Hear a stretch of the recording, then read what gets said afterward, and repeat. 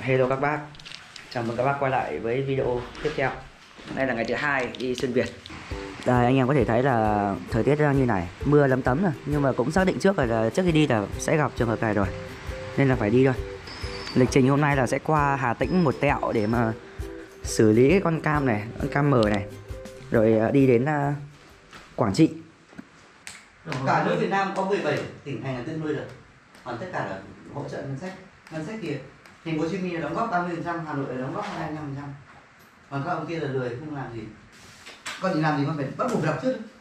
Học sinh thầy thì ờ, phải, phải đọc trước đã xong thiếu gì thầy bổ sung. Nhất là về sau ấy là con phải biết nhiều thứ để vợ vợ đã hỏi thì mình còn trả lời được. Thầy thì là một người rất là vui tính và có một lượng kiến thức rất là rộng. Cho nên là hầu như là mình hỏi câu gì thì thầy cũng trả lời được. Giờ thì ba thầy trò sẽ thu dọn đồ đạc và chuẩn bị lên đường. Đi phượt vào thời gian này thì nó sẽ không phải là mùa du lịch anh em ạ. Cho nên nó sẽ cho một cái cảm giác rất là khác. Nó sẽ không bị quá tải giống như vào những ngày lễ. Và cho anh em một cảm giác rất là thoải mái luôn. Mưa phải đi à? Vâng. Cho phép bao nhiêu anh nhỉ? hai trăm rưỡi Cũng giống với lần trước mình ở Vinh anh nhỉ? Cũng mưa đúng không? Chắc ở Vinh cũng mưa. Cực kỳ cần thiết cho anh em ạ, cái này này. Túi zip cực kỳ cần thiết. không không cần lên đầu được rồi ạ đấy có xem nhẹ không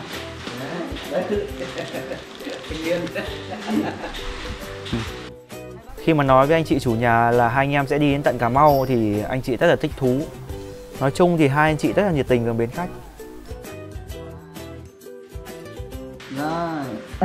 cả nhà. cảm ơn à, chúc đoàn đi từ đó Vâng. Ok, thế là chia tay Vinh, ba thầy trò lại đi đến điểm đến tiếp theo. Đi trời mưa như này thì sẽ rất mệt. Rất may cho hai anh em là thầy là một người có kinh nghiệm, cho nên là thầy lo tất cả cho. Anh ba dạ nó đến Tổng là 45 gì nào?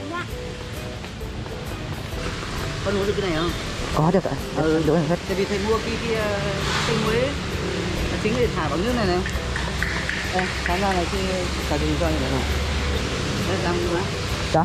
làm Con không ờ, làm bắt được. uống thì không đi không cảm cái mương Nhưng mà con phải tháo vũng ra con bên. Dạ, nhưng mà nên tháo nên tháo cái này là mất rồi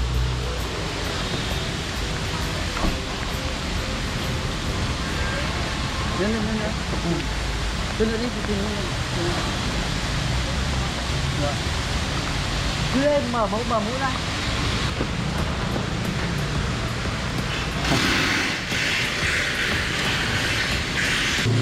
Đi đâu ai cũng nhìn ạ. Đi đâu ai cũng nhìn. Ok đi rồi. Năm nay thì có thầy đi cùng cho nên là hai anh em cảm thấy tự tin hơn. Lần trước đi thì trời mưa cũng không biết xử lý như thế nào. Ăn uống thì bạ đâu ăn đấy, nói chung là ăn linh tinh. Tiếc cái là đến Vinh chưa bao giờ thấy nó nắng thôi. Toàn là mưa thế này, trông cũng hơi buồn buồn tí. Năm ngoái mà con có đi qua cái cầu này. Năm ngoái mà con ở trong Vinh trong phải cơ. Đi qua cái cầu Bến Thủy này thì anh em sẽ đến Hà Tĩnh. Đây là cửa sông này, đang chịu ảnh hưởng của áp thấp nhiệt đới với lại bão cho nên là nước sông rất là đục. Sang đến Hà Tĩnh thì mình chọn con đường gần ven biển nhé. Thì đường nó cứ như thế này thôi anh em. Hai bên là đồng lúa rồi xa xa là núi. Đường thì thẳng tắp, đường nhựa, ngon. Thầy vỗ mông cái cái nó chạy. à câu á Vâng. Ở tập trước thì con câu pro của mình đi mưa nhiều quá cho nên nó bị đục len. Hôm nay thì mình vào nhà một anh ở bên Hà Tĩnh. Anh này thì hay sửa GoPro và cho anh ấy bắt bệnh xem mà. Anh Đức hả? Đây con cam đây anh ơi. Tại vì mình đi là mình đi mấy chục ngày cơ cho nên là cần phải có hai cam. Đi vào đi Được vào luôn à thầy? Em đang ướt lắm.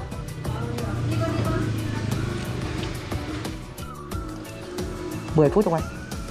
đi quay à đi quay là đi đâu về Nó quay nó bị vào nước. Con này sấy được không anh? Em ra kia chạo anh ạ. Ở đây ở đây có bánh pha chiên. có nhặt đó chạy đến quán quán đầu tiên đó quán thủ trà đó cái này đông khách lắm đúng không? Này thì thường là đông khách lắm đúng không? Dạ buổi sáng thì cũng bán được không thích gì đó rồi. Thích nhỉ? Không người nào quật em mời em nhá. À một quyền mời hoa hậu ngày xưa thì quan văn hay quan võ là quan trọng hơn rồi. Hỏi thâm nhé không đọc không đọc gì. Sao không rồi bao giờ phải có hai? 15 nghìn một cái bánh bao. Sau tầm 10 phút thì anh ấy sửa xong cái cam cho mình. Nói chung là rất là may mắn đấy Tại vì là mình đi đến Vinh bắt đầu mới thấy là cái cam này nó bị đục. Mà địa chỉ nhà anh này ở Hà Tĩnh. Đi nó cũng rất tiện, nó trên đường đi luôn Cho nên là một công đôi việc. Này của em hết bao nhiêu? Cái này là nhà anh à, xong rồi họ thuê làm GT ạ Không nhà anh làm luôn mà. À, nhà anh làm GT luôn. À. Xong anh sửa luôn. Ừ. Rồi rồi. Trước là cảm ở anh trong nhé uh, Sài Gòn. Vâng, Anh mới về chấp dịch được uh, năm rưỡi. Đâu mà đem khởi hành á. Ok, ok. Giờ mà đem qua Văn Miếu. Chúc anh ở Văn thuận lợi nhá. Nào ra Hà Nội mình cái Vâng. À. Mới đi luôn đến này thầy ạ. Anh Đức hay sửa GoPro Sửa cho ở Hà Nội thì cũng gửi về đây sửa hết anh em ạ. Á? Vâng. đây á? Cái món này ít người sửa lắm thầy ạ. À? Chỉ có anh ấy anh sửa được đấy. Con hỏi mấy nơi thì chỉ có anh ấy sửa được. Vâng. Ok, ba thầy trò lại tiếp tục ăn hành tiếp. Đi cái chuyến này mình cảm tưởng như kiểu đi lấy kinh. Vượt qua bao nhiêu gian khổ mà. Tuy nhiên thì đi đường ở đây rất thích anh em nhá có hai xe thì mình luôn là người dẫn đường. Mình thì phải trang bị cái kính chiếu hậu này Để mà xem xem ông ờ, đằng sau như thế nào. Ông đằng sau thì bật tí trợ sáng lên tí để cho nó khác biệt với những xe khác. Và mình biết là luôn luôn là ông đang ở đằng sau mình. Với cả là mình thì đi đường hay có thói quen là nghe nhạc một chút. Đấy, mở MV lên xem YouTube. Nó hơi tốn pin một chút nên là cần phải có cái sạc kia. Tại vì là nếu mà mình mà không nghe nhạc thì mình sẽ rất là buồn ngủ. Mình nghe ít nhạc sàn xong cho volume nó nhỏ nhỏ tí mà đi vẫn đảm bảo an toàn Anh em không nên học theo Học gì đấy? Em ơi cái nhà thờ chính tòa của mới đúng nhỉ? Nhà thờ chính tòa của Hà Tĩnh mới ấy. đấy đi đi đi đấy À. à, đi đường đi sau đi thẳng theo cái đường đường đó đây, đi lên nó chọc cái cầu hồ đồ sau đi lên một thẳng đen quá đây xanh đỏ đây đi lên một đoàn nữa là đi qua là có cái nhà thờ chính tòa của à, Văn Hành đó À Văn Thành đúng rồi. À. Đến thành phố Hà Tĩnh thì ờ, thầy có hẹn một người bạn để mà đi thăm ờ, Văn Miếu Hà Tĩnh Cộng với lại là ở lại ăn trưa luôn Tại vì bây giờ cũng tầm 12 giờ rồi. Mình thì mặc hai lớp áo như vậy nhưng mà cũng ướt hết Cảm giác cũng rất khó chịu. Phải cởi ngay ra thôi. Văn Miếu nha anh em Văn Miếu Hà Tĩnh. Mới xây lại rồi này Thầy có đam mê về kiến trúc cho nên là thầy rất thích thú về những cái địa điểm này Còn hai anh em chúng tôi thì chắc là chưa đủ tầm để mà hiểu. Nên là vào ngó thôi, gọi là xem qua xem Văn Miếu nó như thế nào. Này là đi để biết khổ đúng không? Xong lúc về nhà mới thấy. Sướng. ờ, Thì ra đây mới là sướng. Bình thường không biết sướng là gì gì. Ở nhà nhìn ra một cái kêu chán. Ba thầy trò thì ăn cơm ở thành phố Hà Tĩnh. Hôm nay thì ăn món miến gà các thứ rất là ngon Tuy nhiên là có bạn của thầy nữa nên là cũng không tiện à, quay hơi ngại chút. Tuy nhiên là lưu ý cho anh em mà khi mà đi đường dài đừng nên ăn no quá. No quá là anh em phải nghỉ mất tầm 1-2 tiếng ấy. 1-2 tiếng thì khi mà bắt đầu lại khởi hành lại thì nó rất là mệt Mà nó không hiệu quả. Năm ngoái qua đây rồi. Vẫn đẹp như vậy nhỉ? Năm nay thì đi qua Hà Tĩnh thì vẫn chung tuyến đường đấy vẫn khung cảnh đấy và vẫn thấy cái thời tiết đấy. Năm ngoái thì cũng là mưa Tào Tháo đuổi nhặng cả lên. Đi thì anh em sẽ gặp những cái xe to như thế này. Anh em phải có kỹ năng mới vượt được. Quan sát rồi về số rồi nhìn sau rồi bắt đầu mới lên ga mới, mới qua được. Thực ra trời mưa mà đi sau những con xe này thì mình bị giảm rất nhiều tầm nhìn Do là cái nước của nó bắn vào mình. Và nhớ là anh em phải vượt bên trái chứ không được vượt bên phải đâu.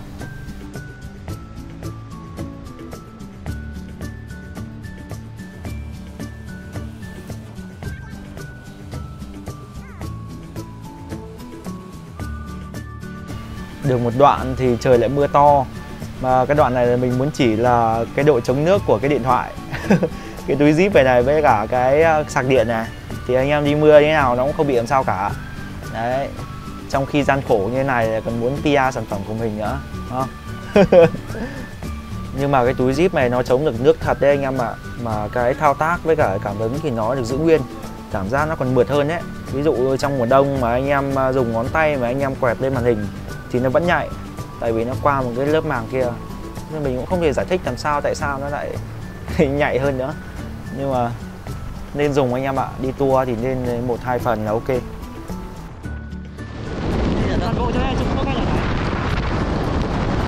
Trước mắt anh em đây là khu kinh tế Vũng Áng.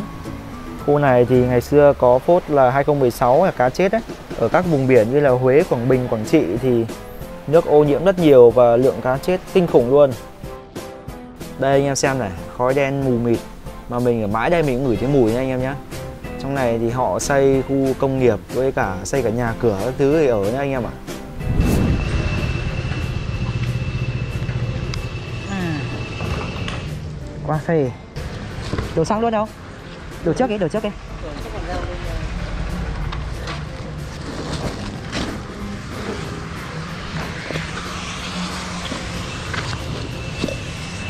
Ờ, đến Huế luôn nhá.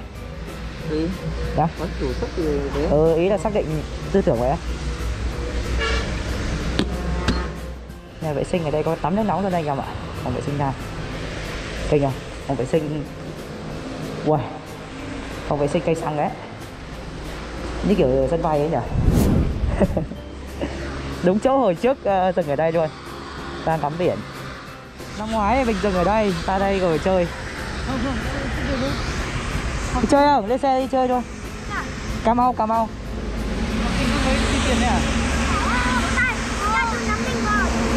Nam Định à? Bánh gì ngon đấy? Cu đưa à? Đây nha.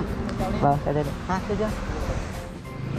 Lại à, tạnh mưa rồi, dã man thật Cứ mưa xong rồi tạnh mưa tạnh cứ mưa xong tạnh xong lại mưa.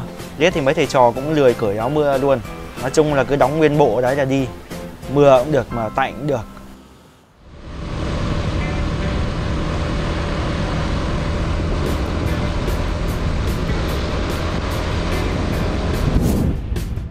Khúc này thì sẽ là đèo ngang anh em ạ.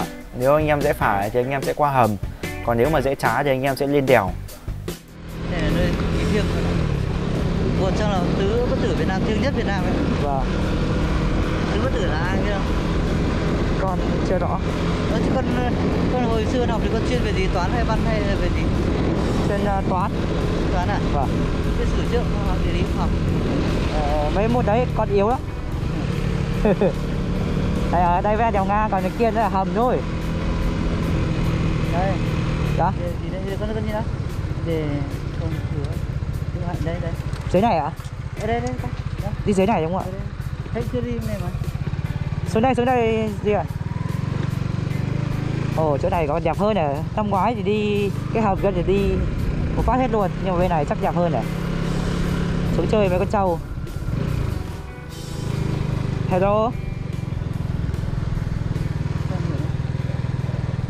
Tạm gì à? con để xe ngoài thôi nhá con để phần lên ai trông? Ơ vậy đi vào. Đúng rồi, ảnh cái trò nhỏ đấy. đấy thầy vào đi con ở ngoài à khóa cổ vào cho chắc. Mang này đi nữa là xong ok. Cô ạ.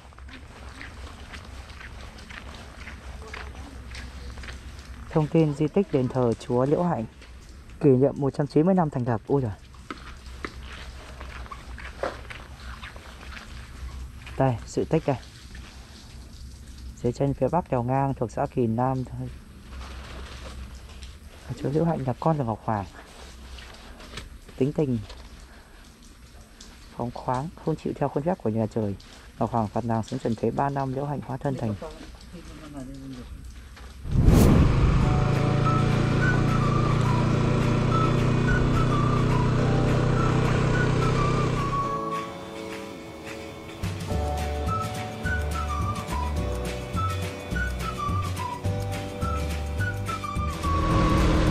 ngoặt nguy hiểm chú ý tốc độ. 20 cây số giờ đây à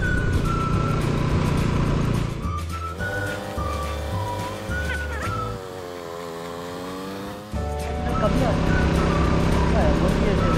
À vậy chỗ này chỉ có xe máy thôi. Xe máy là đến ờ, khoảng 5 giờ chiều là không đồng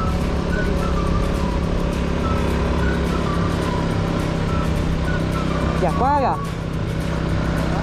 Ồ. Đến in đi Chỗ này đây nhỉ? Check in chỗ này à? Đây à? đây này là trên đấy cái này quá. Thế Duy đã dừng lại, nó check in rồi. Thế? À thằng này khôn này Đúng thật. À thằng này khôn này đấy mà chỗ này rất là con tự nhiên con con cái hay bị vượt quá. Đây Đứng này, đứng cái chỗ trắng này này. Ôi ôi. Và đây bên này bên ơi, chú cho con tiểu ảnh ở đây. Đi vòng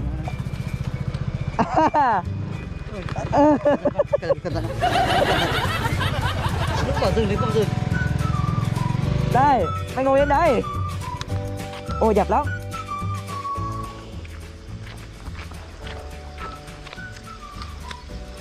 Thầy lát chú con kiểu ảnh nét với ừ, nét này gì Đây ảnh máy ảnh này. Đấy không cần nhìn mặt à? Không ạ. Kìa, nhìn đây ra để cái đấy không cảnh không không cảnh không với lại đang mây nó xuống đang mây nó xuống này Vâng ôi con Bức ảnh triệu đô không thầy? không cứ giả thầy vào đấy thôi Được có nửa triệu đô đẹp quá Xong rồi ạ? Chỗ này là vùng phát là ngoài kia biển luôn, nhìn hay nhỉ. ờ chứ Con xem lại hả thầy? không cho xem Chết rồi cái này là khác là, là máy ảnh mà tôi xem lại thì là, là, là hết pin Vâng nó bị tốn pin tại vì mới hai nữa là cái mắt đọc nó bị hỏng khi mà Vâng. mình phải à, mình sử dụng nhiều cái mình tua lại Vâng. đấy chính là hết pin là ở cái đấy à, à bỏ mẹ mưa mưa đấy là mưa kìa xe xe con đây Đấy là mưa hả? đấy là mưa mưa mưa to mưa to. Đâu? Không, chúng mình không mưa. đang đang đến mình thế này đây Ơ thế mà có mưa vào có mưa vào mưa. chết rồi Đâu nhỉ? Mà mưa vào mày ơi Thì tao mặc áo mưa mà. À ừ nhỉ Chả trách cho mày không vội gì. Ôi mưa thật rồi. Thôi vậy cũng hên lắm rồi. Tự nhiên nó dừng cho mình chụp ảnh mấy cái.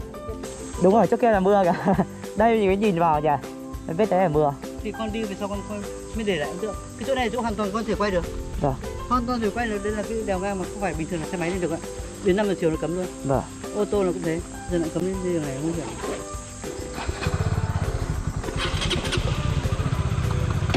Quá đẹp mạnh quá đúng rồi. Đấy chưa? Con là mưa đến rồi này? Mạnh chết, mạnh nhá. À, Mưa luôn hả? lại nhìn từ mây. Đây đây đây đây nhìn mây đuổi. Mây đuổi.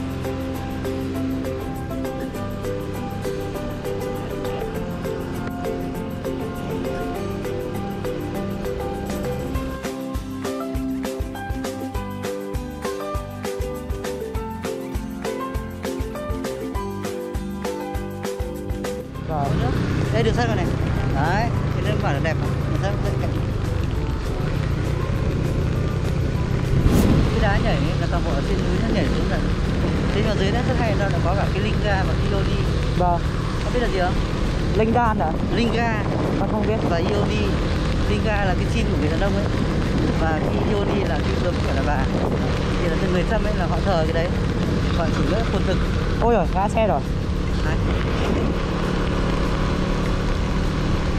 không sao xe đâm à Không từ ngã từ ngã từ ngã từ ngã ngã hay là xe đâm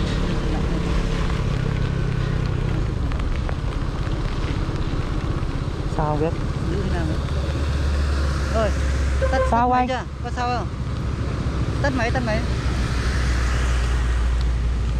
có sao không cần giúp đỡ gì không anh Chắc không sao rồi nó tắt máy tắt máy đó tắt máy tắt điện được có cả chút rơi được không anh? À, không à. À. đường trơn lại mưa dạ. à, cái kia nó nó rẽ gì đi được không? Ừ. vâng khi nhan đang bật đấy. Ông kia thấy người ta ngã mà có đi thẳng luôn. Đó, dạ. cái này. ông trên kia rồi. Yeah. vâng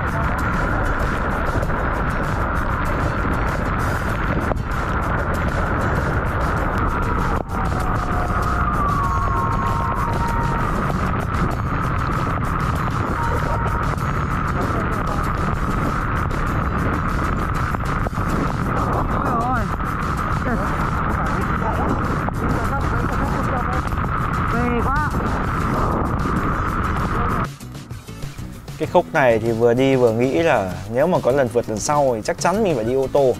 Chứ không bao giờ đi xe máy nữa. Ôi rồi ôi, nó gọi là muối mặt. Mà trong những cái tình cảnh như này, mình lại ngồi suy nghĩ là có nên về không ta? Nếu mà cứ đi hành xác cái này thì chết mất thôi mà cũng nghĩ lại cái lý do đầu tiên khi mà bắt đầu. Đấy. Nói chung là cắn răng chịu đựng để xem là nó có gì hay ho ở phía trước không.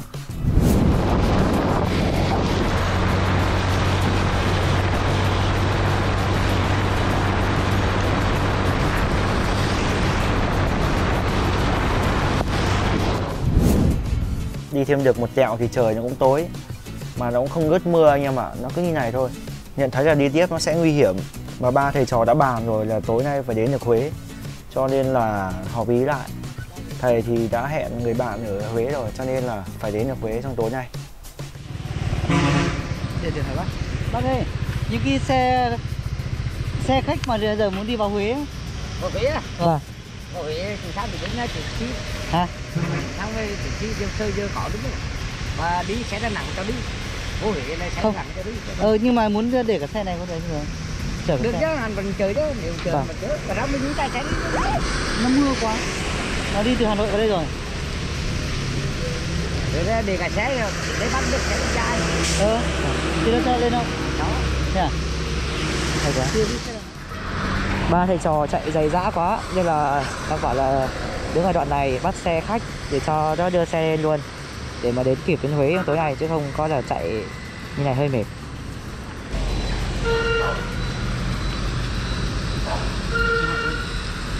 Đây. Cô đi Huế không? Ờ nhưng mà còn còn gửi xe có gửi xe máy được không? Đấy, đi được tránh nha. Ba người hai xe. Ba người hai xe gửi được được tránh hết chứ không vào thành phố. Ờ, thì được tránh được. Được chạy cũng được Được được. Được được được được Được được, được. Nếu như từ Hà Nội vào mưa ướt hết rồi Ok không anh? Ba người hả? Ba người hai xe ạ. Ok. Đi đi. Đây xe này ạ. Có phải để chìa khóa không? Ừ, cam điêu của mình. Cái kính này, cái kính bà nằm nằm ở đó mà. Nằm xuống đây mà. Găm găm phải con cô. Hả? Nằm với cô. Được không?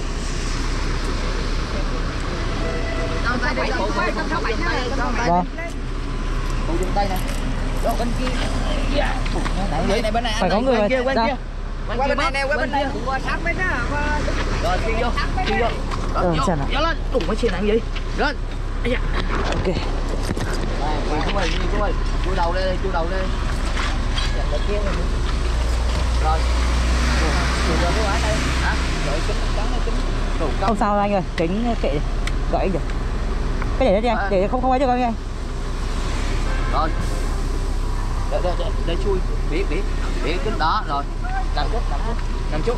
Thẻ, thẻ, thẻ anh đi. Thẻ, nằm xuống chút. Nằm xuống chút. Đó, để vô. Ồ.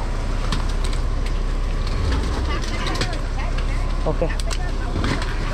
Em yêu rồi.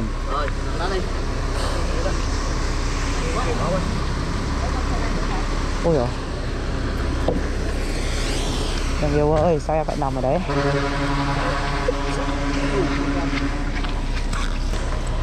Ơ, điện thoại mình đâu rồi nhỉ? Ui rồi trời mẹ đây. Thoại thoại thế cho đặt cắt này mới hay đi dã man nhỉ chuyến đi lịch sử ấy thầy ạ Thực sự là đây là một cái trải nghiệm không thể quên trong đời mình. Mình đi mấy trăm cây số trời mưa rồi lên bờ xuống ruộng. Đến thời điểm hiện tại thì trên người mình ướt sạch, không còn cái gì nữa. Mà mình phải đem thêm đống đồ và hai con xe nhét vào dưới gầm này. Bụng thì đang đói, mà còn lại giờ cơm ấy chứ. bây giờ à, cái giày của mình đang ướt sạch và bây giờ phải lội lên trên à, xe. Đó, anh em cứ hình dung xem à, mình đang trải qua cái khoảnh khắc như thế nào. Chắc chắn là nhớ đến già luôn anh em ơi.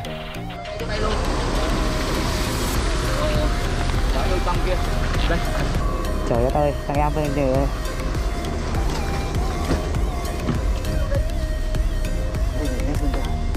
lên trên xe thì đang lạnh cái sớ mà cái máy lạnh nó để hình như là 16 độ anh em ạ. Ba thầy trò chỉ biết nhìn nhau cười thôi. Cũng may là trước khi đi, thầy đã chuẩn bị cho hai anh em là có bánh dinh dưỡng rồi, cộng với lại nước uống buổi sáng uống vẫn chưa hết, nên là ăn vào nó cũng đỡ hơn. Trên này thì người ướt, cho nên là ở trên này cởi hết quần áo thôi. Bọc mỗi cái chăn thôi là là đỡ lạnh nhất không có nếu mà mặc cái áo ẩm kia thì chắc là dính dính trưởng luôn đấy.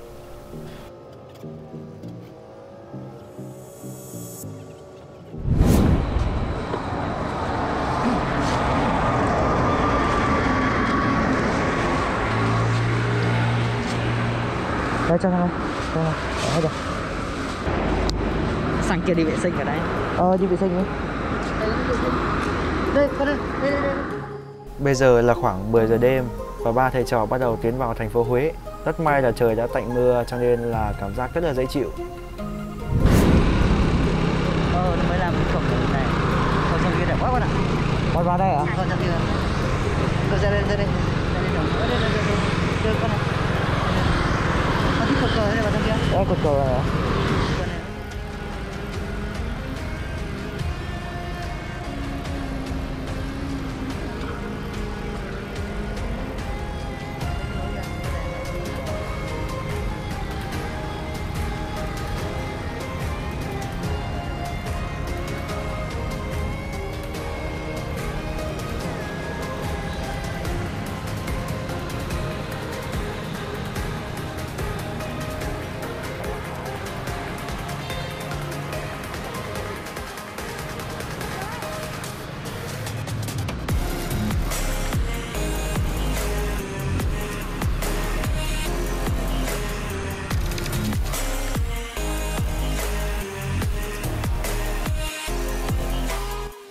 Lần này đến với Huế thì mình sử dụng Booking để mà đặt khách sạn. Mình thấy nó cũng khá tiện lợi và nó giá cả rõ ràng. ấy. anh ạ dạ. em đặt ờ, phòng trên booking ấy. À rồi rồi. Anh còn một chuyện đó à, tầng hai đi ạ. Đóng đồ á Tầng 4 thì rộng mà có ban công mà view thành phố. Và tầng 2 thì cũng có ban công nhưng không rộng bằng tầng 4 nhưng mà không có view à? Hả? View tầng 4 mới có view được mà rộng thì không. Có thang máy không ạ không mình nhìn vào thang máy được là bốn năm à. phòng. thế cho tầng hai đi chị ạ. Phòng nào có ban công hết? Vâng. Rộng nhưng mà trên nữa rộng hơn nữa. À ban công. À trời ơi. Sống rồi ướt hết sạch rồi. Trời ơi, tiền bây giờ nào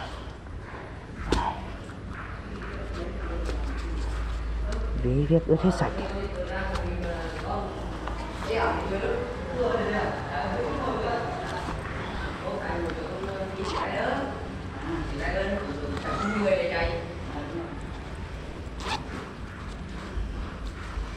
Này rộng rãi này. Trên tầng bốn nó rộng hơn bà nhưng mà có cà phê à? Thì cảm ơn nhá. Thoát y thế. Cái cửa chân ở trên. Buồn cười thôi kia sao mà sao mấy mấy ông lại cười chân này cấp cứu cấp cứu